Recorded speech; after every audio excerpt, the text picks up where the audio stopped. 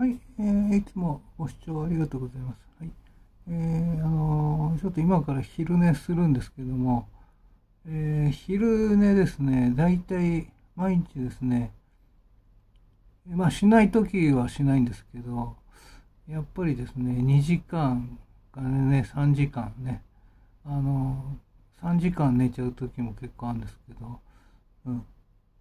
それでね、夜中起きてんですけどね、はい。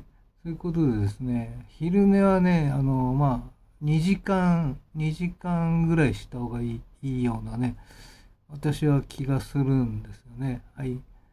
えー、以上なんですが、ちょっとショート動画になりたくないので、あとちょっとね、えー、あと何ですかね、まあ今日はね、都知事選挙ね、え、どうなるかね、もう本当にね、小池百合子さんね、まあ、決まると思うんですけどね、うん、頑張ってほしいなというね。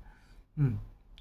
そうしたらね、さすがにね、いろんなことが起きるからね、ちょっとそれが楽しみですね。はい。はい、どうも、すいません。はい。